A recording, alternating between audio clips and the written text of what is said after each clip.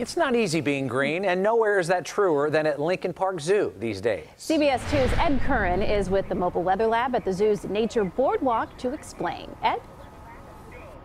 Now, I'm a meteorologist, so I was fascinated to find out that it's the weather that played a big role in the reason why we have an abundance of amorous amphibians. How do you grow a toad? Just add water. Toads will uh, actually get together, mate, and deposit the eggs and fertilize those eggs during rainstorms. Curator Dan Boehm says wet weather conditions have helped lead to an abundance of toads. They don't like to lay their eggs in ponds where fish can eat them.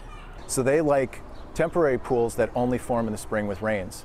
We can use the ample amphibians. The zoo's Dr. Rachel Santymire studies stress in amphibians who are being hit hard by a fungus. So we're studying stress and urbanization and also this disease called the chytrid fungus in amphibians because the chytrid fungus seems to be wiping out large populations of amphibians and actually causing a lot of species to go extinct.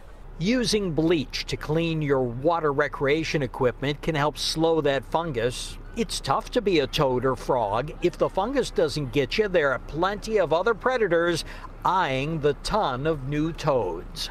It's going to be a bumper crop basically for uh, garter snakes and um, a lot of other species that are going to eat these toadlets this year. Now that you know the reason why, it makes total sense, right?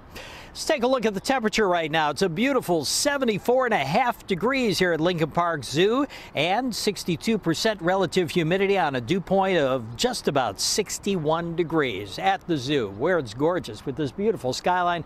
Ed Curran, CBS 2 News. That was, Robin such, Erica? that was such a happy story until we heard the end of it, which is they're all going to be eaten by the Right. garter snakes. Oh, my That's it. goodness. Thanks, Ed. Got a little place in my heart now for Sorry. children. Yeah. Not It always won't last long.